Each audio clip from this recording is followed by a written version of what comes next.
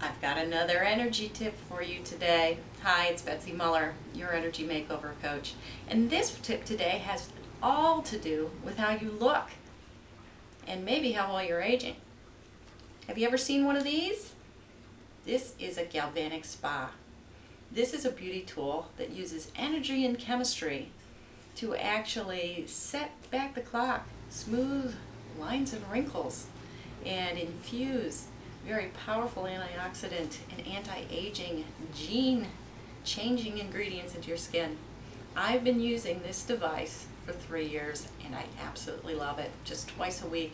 It's better than anything I can get in a spa or salon with my busy schedule and it travels well. See how little it is?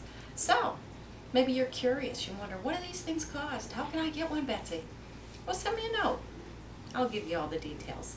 And in case you want a really, really special deal, if you're one of the first people to sign up to go with me to Maui in February, I'll give you one. How's that?